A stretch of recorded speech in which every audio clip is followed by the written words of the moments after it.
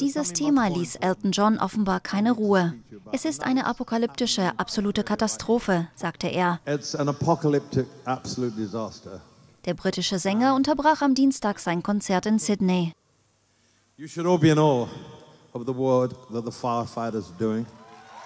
Er brachte seine Bewunderung für die australische Feuerwehr zum Ausdruck.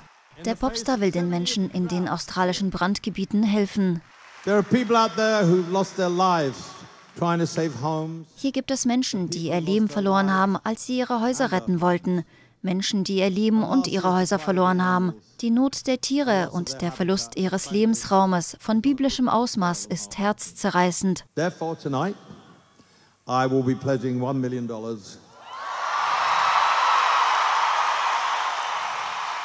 to support the Bushfire Relief Fund. Deshalb sage ich heute Abend dem Bushfire Relief Fund eine Million Dollar als Unterstützung zu. As I said earlier, es ist ein großartiges Land. Ich komme hierher seit 1971. Ich liebe es so sehr hier. Zu sehen, was hier passiert, bricht mir das Herz. Wir müssen zusammenkommen und kämpfen. Das ist mein Beitrag dazu. Ich liebe Australien so sehr. Diejenigen, die ihre Heimat verloren haben, Gott segne sie. Ich hoffe, dass euer Leben sehr, sehr bald wieder in Ordnung gebracht wird. Ich möchte mich noch einmal bei euch bedanken, Australien. Gott segne euch.